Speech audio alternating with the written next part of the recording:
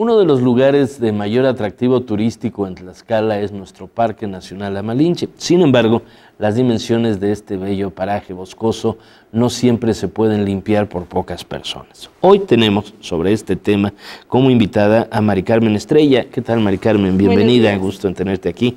Ella es directora del Icatlás Tlaltepec y nos va a hablar sobre el resultado del empleo temporal en el Parque Nacional Amalinche, que me imagino que tiene que ver precisamente con mantener limpia nuestra montaña. Así es, bueno. O nuestro volcán, porque siempre discuten si es montaña o volcán. Digamos que son ambas. ok, bueno, primero que nada, buenos días.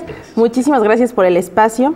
Claro que sí, desde hace cuatro años el gobernador, el licenciado Mariano González Arur, se dio a la tarea de encomendar esta tarea en este momento a la coordinadora del CEPUEDE, junto con la coordinación de ecología, para que dieran empleo temporal ya con este, eh, este cuarto año a 9.300 mujeres que se han encargado de mantener eh, limpia y en buen estado la Malinche. Hacen trabajos de hacer zanja, bordo, de limpiar y en algún momento hicieron también reforestación. Esto suena muy complicado, no es tarea fácil en un espacio tan grande. ¿Cómo se coordinaron estos trabajos? Se coordinan, como lo comento, entre la titular en este momento del, del Se Puede y el titular de Ecología.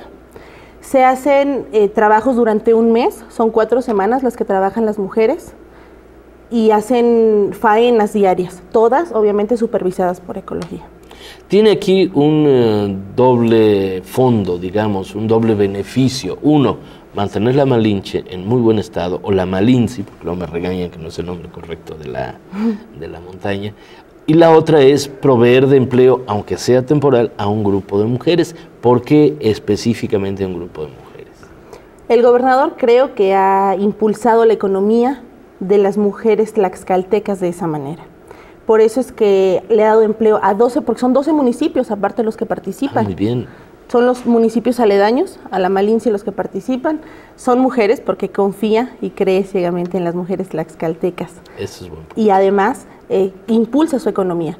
Y creo que lo más importante es hacer conciencia de la importancia que tiene mantener limpia y bien cuidada nuestro Parque Nacional porque no solo es el trabajo que él está impulsando, sino la conciencia que está creando en las familias para que, para que se vea el beneficio en la Malinche. Claro, porque muchas de ellas son madres de familia y van a predicar con el ejemplo en casa que hay que respetar estos lugares boscosos. Así es.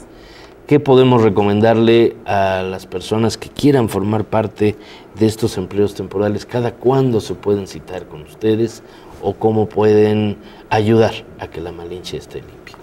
Bueno, primero que nada es un acto de conciencia.